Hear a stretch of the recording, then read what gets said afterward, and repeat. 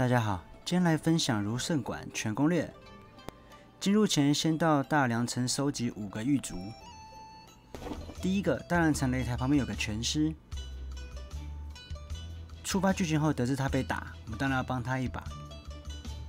这时前往桥墩上的市集，会看到刚刚做拳师的一群人在跟乡亲说那拳师门派很烂。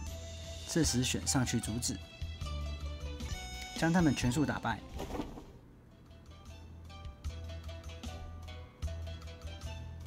打赢后回来找拳师回复任务，获取异族，再到赌坊前的摊子找哑口无言的婆婆。这边建议先存个档，因为要猜谜，猜错要隔天才能来。结果第一题就猜错。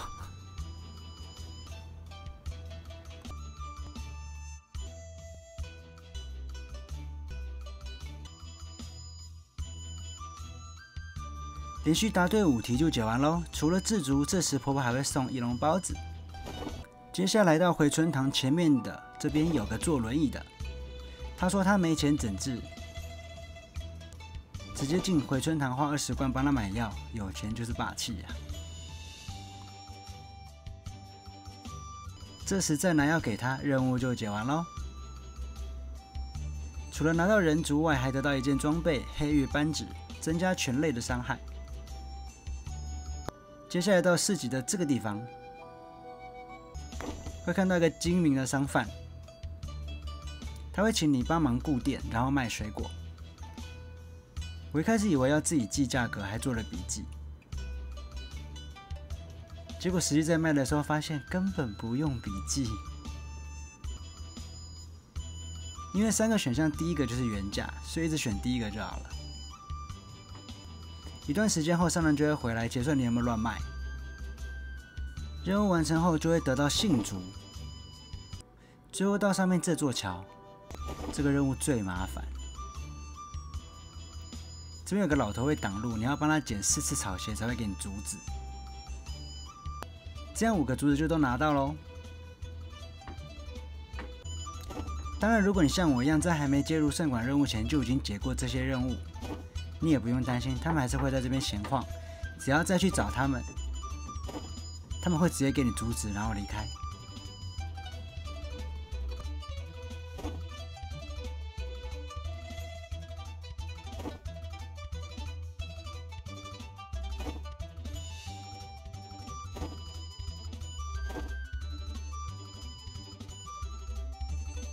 接下来回如圣馆回任务喽。这时才发现，原来这五个人都是如圣馆的核心弟子打扮的。经过考验后，就会加入如圣馆。这次如圣馆也有专属的皮肤哦，感觉很可爱。希望未来更新的每个门派都有专属的皮肤。又是一个没有悬赏榜的门派，贡献获取有以下几种：第一种拜至圣先师，获得二十五贡献，好少哦。第二种找祭酒上早客，获得十五贡献。而且三哥还会抢小朋友的位置，为什么我没有自己位置啊？第三种找蔡优之对师，获取一百贡献。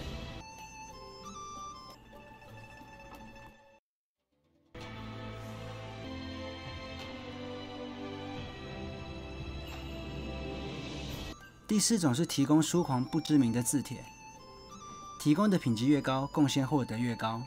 丙级二五贡献，乙级一百二十五贡献，甲级五百贡献。除了会增加贡献外，还会增加好感度。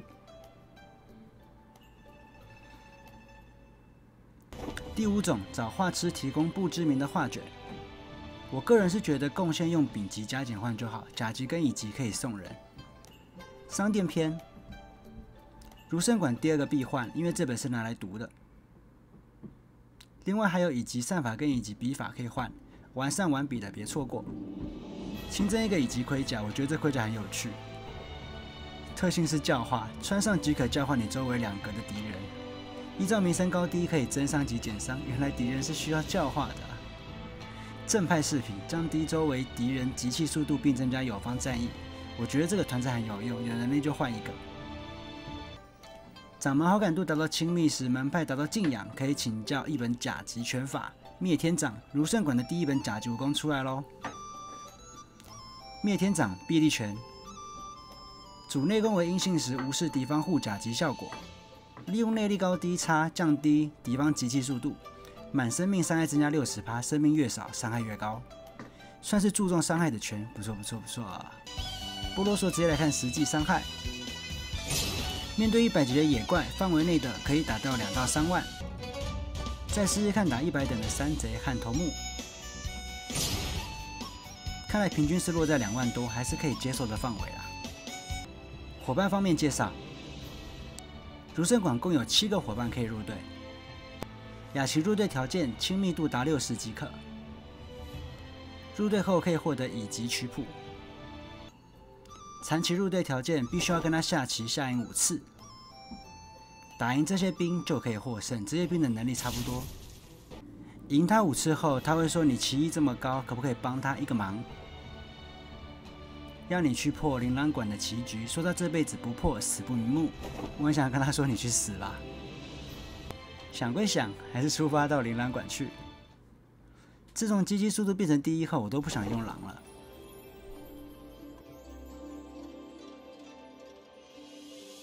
接下来直接点这个残棋，你主角够强，直接放到最前面去打。这边怪才六十等，基本上都是一招秒。只是打赢将之后会出现兵，但也都是一招秒，没什么差别。打赢后可以看到一点点的动画，代表你破棋局的意思。破完后旁边一样会出现一本甲级内功，接下来就可以回任务了。回完后可以得到乙级指法，并且这时候就可以邀请他喽。他入队会给你五颗霹雳弹。蔡幼稚的入队条件好感度满一百，并帮他闯阵。此时来找他对话即可闯阵，帮他打赢琴棋书画。打赢后就可以邀他入队了。入队会送你凤鸟玉佩，增加轻功和移动距离。画师入队条件手上要有清明上河图，上河图可以透过珠光宝气楼获取，拿到以后再点邀请。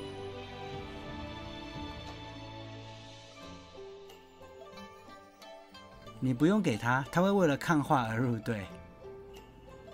书画入队条件，画师入队，他就会入队，因为他们是好朋友啊。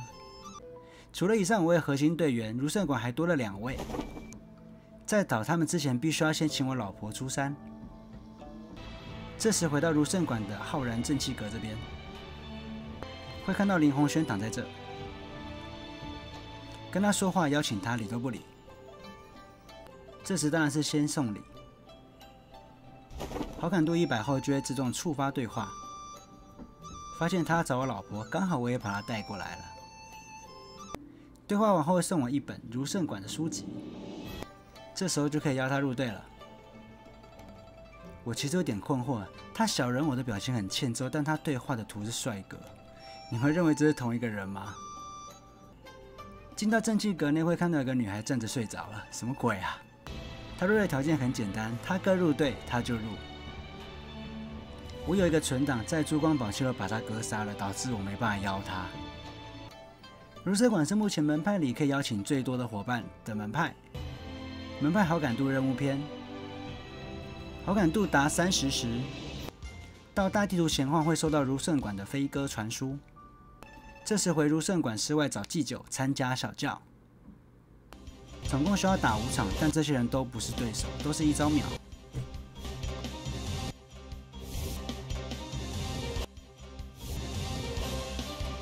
打赢之后会获得如圣馆的专属状态——儒者之风。五样品格高于零时，增加伤害最高加二十五趴。门派好感度达六十时，会收到地址通知，掌门有事找我。馆主要么去挖芒山穴，看来透过任务就不用花钱买消息了。这时地图左下角会出现芒山穴，建议去芒山之前先去摸金门，先跟摸金门门主建立关系，送礼送到满，再前往芒山穴，一直到最深处会看到特殊地板，到门口这边会触发剧情摸金门来捡漏。为了能拿到全部宝物，直接跟摸金门开战。打赢后，因为之前有建立关系，会直接降到中立。因为之后会接剿灭摸金门任务，如果前面没打好关系，这边关系会直接变恶化。接下来就是把这边东西都搜刮，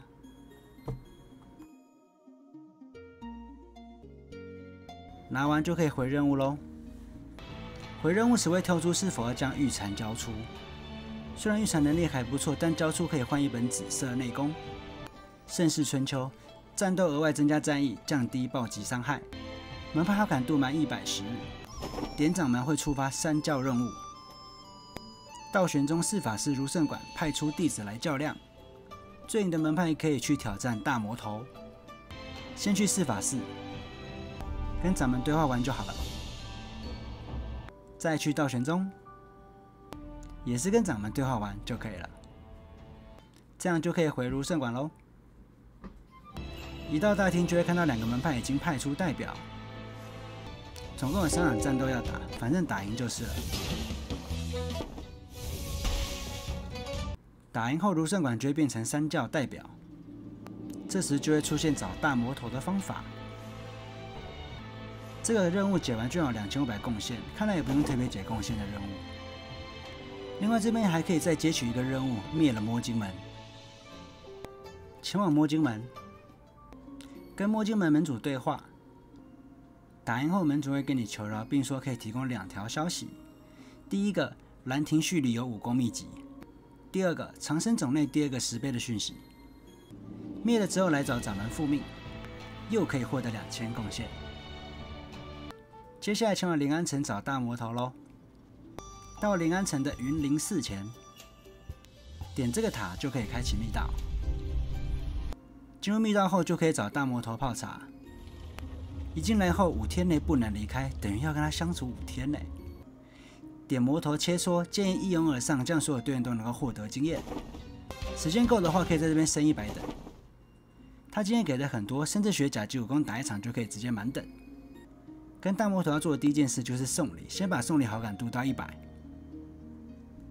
好感度满一百后，会触发猜拳剧情，猜赢十场可以获得紫色拳法。继续闲聊，老魔头会因为跟你有好感，送你天魔刀法。继续闲聊会触发老魔头与道玄宗四法师如圣馆的战斗回忆。如圣馆回忆打完后，因为我们是如圣馆弟子，会强制再触发一场战斗。打赢后，老魔头会送你如圣馆的专属内功如十三经，攻击必定命中，不会被格挡，免疫反弹伤害，免疫被暴击。这本可以搭配灭天掌。冰窖里有个道具在冰块下，第一块就是我打的这一块。打破冰块后会出现一只盘龙钥匙，另外一块在左边这个有两个冰块堆叠的地方，打破以后会有一块突突的，可以捡到万年玄冰。寒冰床可以吸纳寒气练功，每练一次六十层，但可以增加五十内力上限。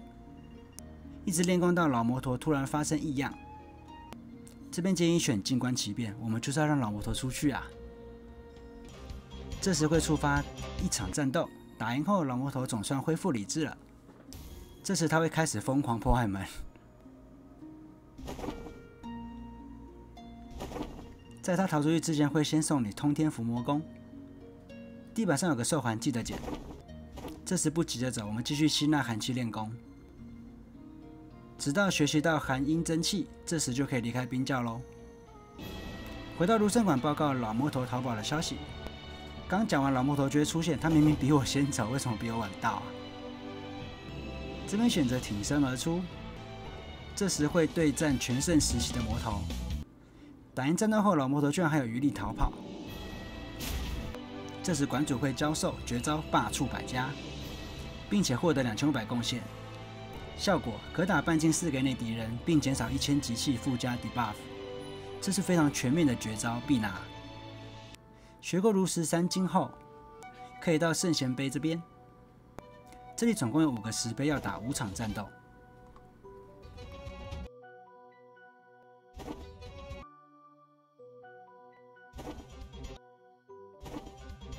都打赢后，可以获得石碑清绝招天地不仁。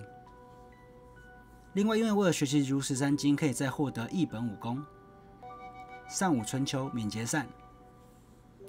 搭配如十三经内功有三十五趴风招敌人，名声越高伤害越高。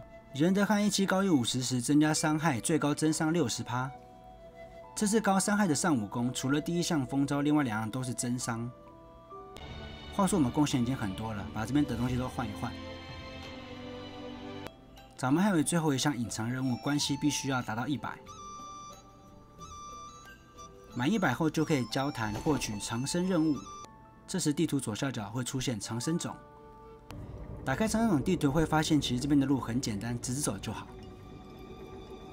如果要抓白猩猩，记得先把这些木牛都点穴。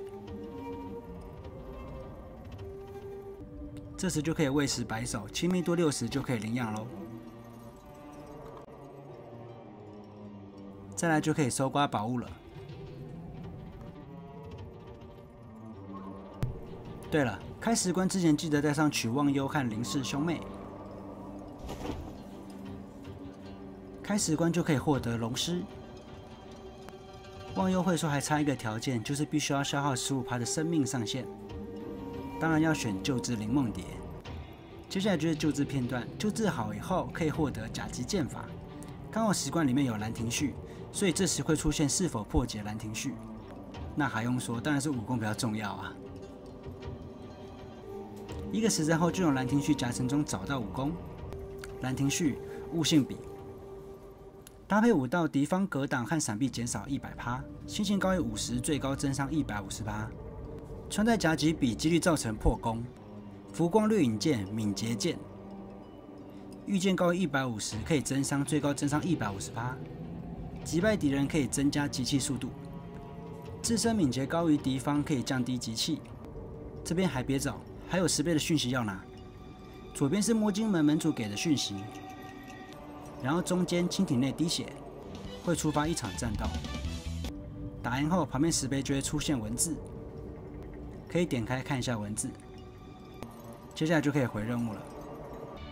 回任务后，馆主没办法接受长生种类的讯息，直接魔化要杀你。看来就算拿摸金门的讯息，也无法避免这场战斗。打赢后，馆主神智恢复。这次掌门会将你逐出如圣馆，也算是全身而退。如果你还没有得到灭如圣馆的成就，这边可以顺势灭了如圣馆。我已经解过了，所以就选答应他退出如圣馆。来盘点一下这趟如圣馆的收获：数本以及武功。哇哦！甲级武功分别有灭天掌、浮华掠影剑、上武春秋、兰亭序、如十三经。一掌一剑，一扇一笔，一内功。另外还有两样强势绝招，罢黜百家，天地不仁。可以说走一趟如圣馆，可以赚个盆满钵满也不为过。只是我很意外，剑已经如此强势，居然又再出一招剑武功。以上为如圣馆全攻略。另外，如圣馆其实还有两个攻略未出，一个是如门圣贤的结局，一个是林梦蝶的结缘。这些后续会再抛出来，不然这影片好长啊。喜欢我的影片，帮按赞、订阅、分享、加开启小铃铛。我是小峰，我们下次见。